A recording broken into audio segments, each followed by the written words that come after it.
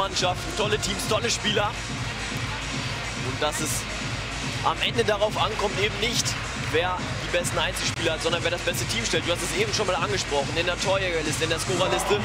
Keiner vertreten von den Mannschaften, die hier weit gekommen sind.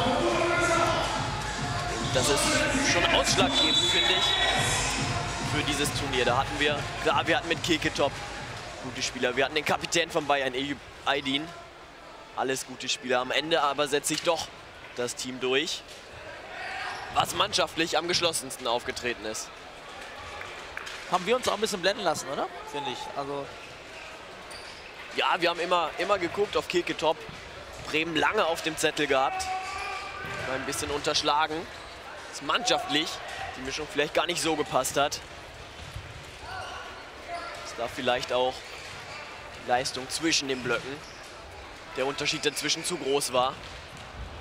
Und eben früh, verhältnismäßig früh, die Niederlage im Viertelfinale gegen Fortuna Düsseldorf. So, erste Aktion.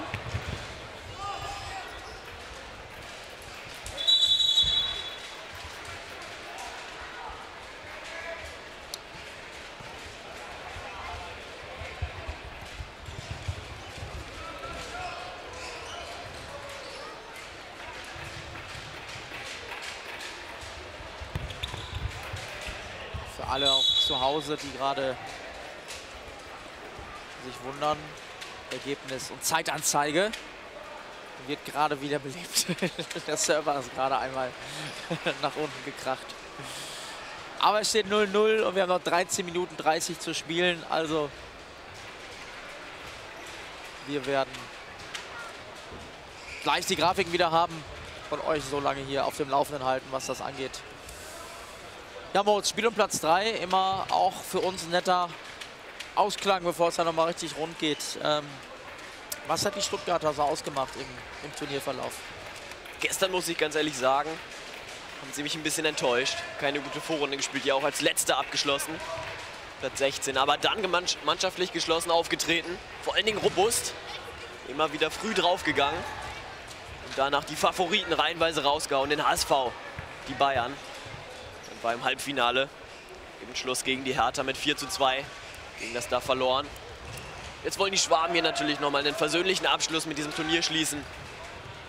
Möglichst dieses Spiel noch gewinnen. Haben sie jetzt aber Glück, dass sie hier nicht in Rückstand geraten gegen die Düsseldorfer. Der Nachschuss da ein bisschen zu hoch angesetzt von Lennart Wagemann und deshalb weiterhin 0 zu 0. Die Düsseldorfer können natürlich auch vollends zufrieden sein mit ihrer ersten Teilnahme hier direkt mal bis ins Halbfinale gekommen. Eben gerade ja verloren gegen die Gladbacher, dann doch relativ deutlich mit 0 zu 4. Aber ein sehr, sehr guter Auftritt bei der Premiere für die Düsseldorfer. Kann mir gut vorstellen, dass wir sie auch im nächsten Jahr wieder hier in Lübeck sehen werden. So kann man auf jeden Fall debütieren.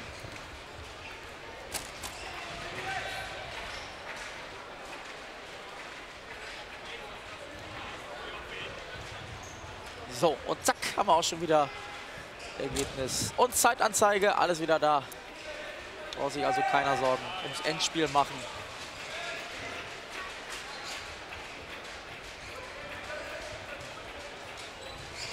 Gleich nochmal kurzer Show-Act und dann fliegt hier hoffentlich das Dach weg im Endspiel um den Freeway Cup 2020. Und dann haben wir den ersten Treffer am Spiel um Platz 3 durch Nathan Winkler, der die Schwaben hier in Front bringt. Hier das Spiel über die Bande, Ball direkt genommen, eiskalt verwandelt. Die Stuttgarter gestern ja schon mit äh, schon im spielerischen Ansatz, aber unglaublich torungefährlich. Haben ja in den ersten vier Vorrundenpartien nur drei Treffer erzielt. Und das haben sie in der K.O.-Runde wirklich abgelegt. Sind deutlich zielstrebiger geworden, deutlich besser in Torabschüsse gekommen. Also auch das Risiko, was sie mit ihrem Torwart Savic da gehen, belohnt worden. Apropos Savic, da ist er. Mit der erneuten Parade. Jetzt verliert er den Ball.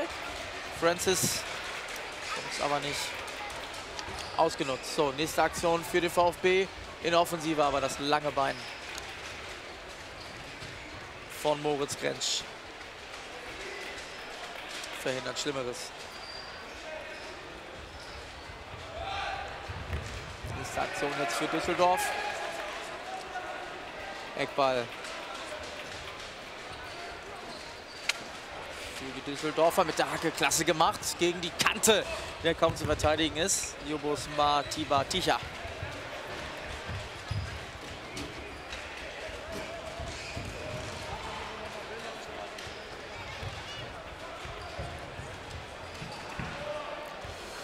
Moritz, das Endspiel, was glaubst du, wer macht's? Hertha oder Gladbach? Ich finde die Hertha vor allen Dingen mit ihrem ganz, ganz robusten Auftreten, mit den zweikampfstarken Spielern, haben mir das gesamte Turnier über ein bisschen besser gefallen als die Gladbacher. Hatten wir ja eigentlich von Anfang an schon so ein bisschen auf dem Zettel. Nach ihrer Platzierung aus der Liga, dass sie hier zum Favoritenkreis gehören. Hat sich auch bestätigt dann. Also für mich, mein Tipp geht auf die Hertha. Tibico-Quote 1,6. so, Düsseldorf im Angriff. Wieder Ticher. So, genau. So, starkes Dribbling hier von Malé.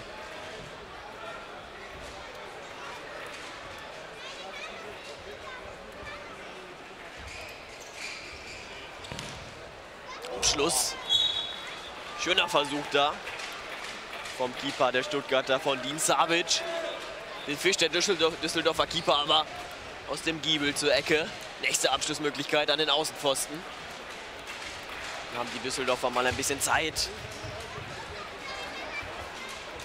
Ball dann aber lang nach vorne.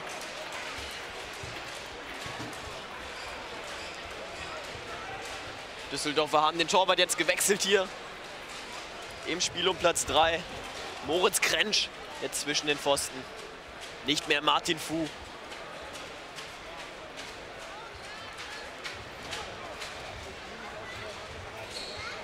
Da nutzt man dieses Spiel jetzt doch noch mal, um auch Moritz Krensch ein bisschen Spielpraxis zu geben. Schluss da, verdecktes Sichtfeld.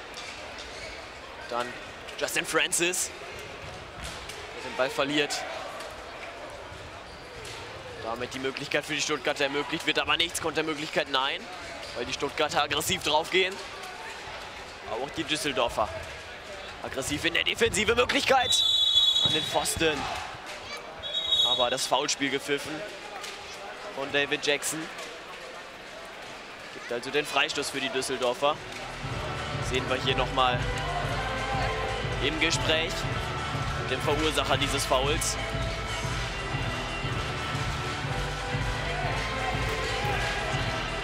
Daniel Bunk, der Kapitän, wird es wohl machen. Abgelegt, am Kasten vorbei.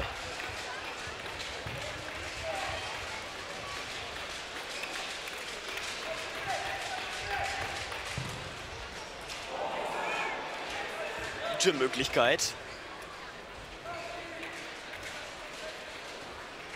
Utu Ruga von Stuttgart erwischt da mal den Keeper der Düsseldorf auf dem falschen Fuß. Ball geht da dann ans Aluminium.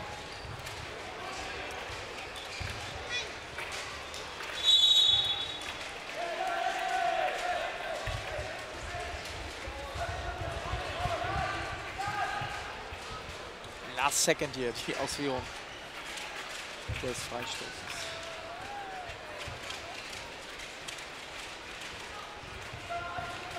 Savic im Aufbau, gut gemacht jetzt. Gut freigespielt.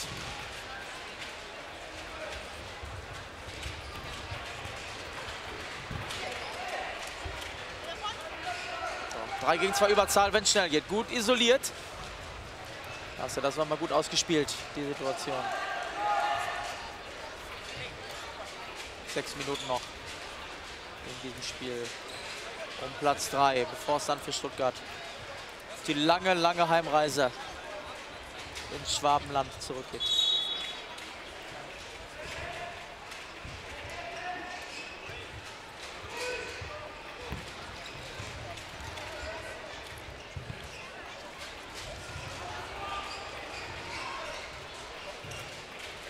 Geholt da von Ben Euler. Yilmaz da jetzt gelegt, aber für Jackson kein Foul.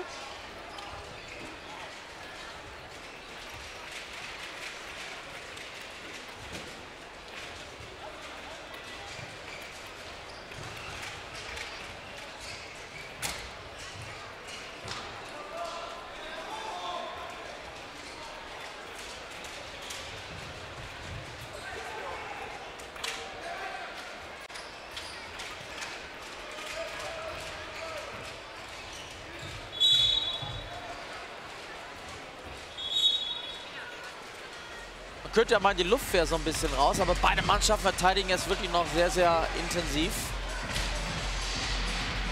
Schauen sich da gar nichts, haben also auch den Ehrgeiz hier noch das letzte Spiel zu gewinnen.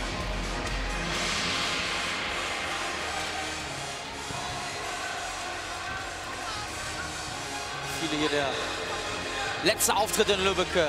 Nächstes Jahr geht es dann hoch in die U17.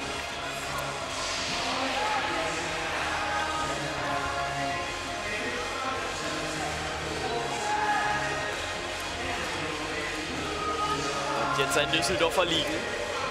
Wieder nicht unter Mund, steht aber auch schon wieder. Stuttgart spielt weiter. Gut festgemacht der Ball da. Drehung klappt dann allerdings nicht und jetzt das Überzahlspiel. Ah, muss er eher den Pass suchen. Legt er sich den Ball zu weit vor. Läuft dann in die Bande rein. Nicht gut gemacht. Von Enes Ilmas da.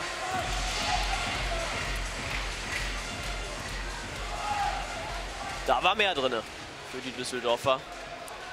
Bleibt es hier beim 1-0 für den VfB Stuttgart.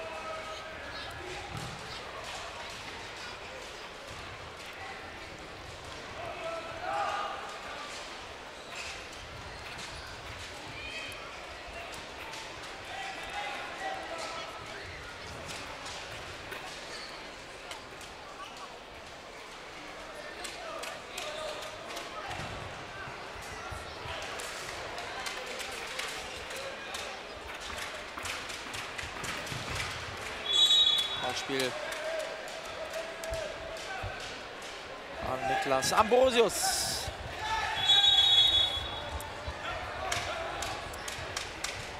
Oh, das war aber ein krasser Wechselfehler eigentlich. da war Düsseldorf mit dem fünften Feldspieler auf dem Feld, hat schön den Freistoßwechsel abgewartet. Aber alles gut.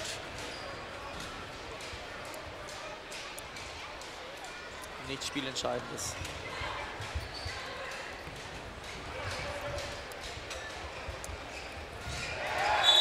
Einsteigen hier. Klare Sache.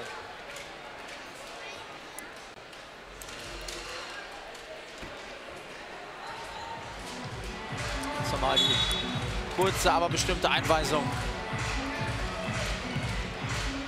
Schiedsrichter waren da gerade noch mal alle zusammen auf der Platte, haben auch da noch mal ein großes Kompliment und vor allen Dingen dicken Applaus bekommen für eine durchweg Top-Leistung. Wir haben das schon mehrmals erwähnt hier heute mit Dominik Kapetschny auch gesprochen. Klasse Auftritt hier der heimischen Schiedsrichter. Schön zu sehen in der heutigen Zeit, wo es auch immer wieder Negativschlagzeilen gibt. Hier überhaupt gar kein Grund für irgendwelchen Ärger, weil die Jungs an der Pfeife das wirklich top gemacht haben.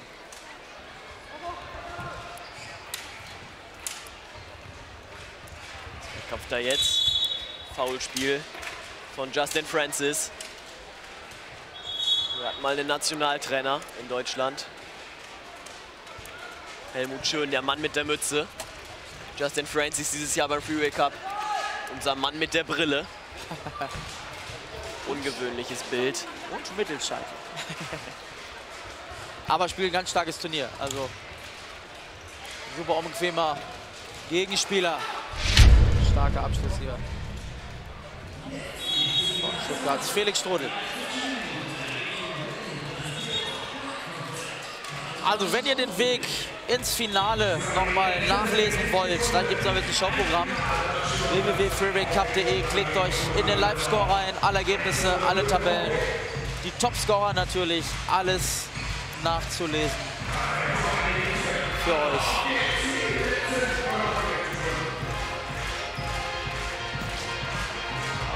Oh, Riesenmöglichkeit hier nochmal für Lennart Wagemann. Glaube, den Verantwortlichen war das ganz rechts. Ein 9-Meter-Schießen. Also für die Zeitpläne nicht so angenehm hier.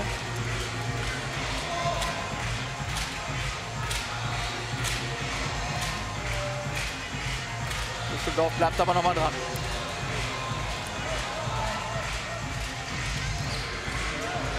So, jetzt aber die große Chance. Oh. Verlassen Yannick Malé auch ein wenig die Kräfte. 16 Sekunden jetzt noch. So, Abwurf, zweite Chance. Das ist der richtige Zielspieler. Ist aber auch keine Gefahr. In seinen Abschluss rein und was für ein Tor! Und der Treffer zählt. Weil Moritz Kretsch nämlich dran war. Das müssen wir uns nochmal angucken im Replay. Savic verabschiedet sich mit einer Megaparade. Also, hoher Abwurf. Und da geht er ran. Da geht er ran. Moritz war jetzt nicht mehr kriegsentscheidend, aber. Bitteres Ende für das Düsseldorfer Turnier. Trotzdem, sie können sich mit erhobenem Haupt verabschieden aus Lübbecke. Auf jeden Fall. Moritz, dir an dieser Stelle schon mal vielen, vielen Dank. Wir hören und sehen uns nach dem Endspiel dann nochmal. Du bist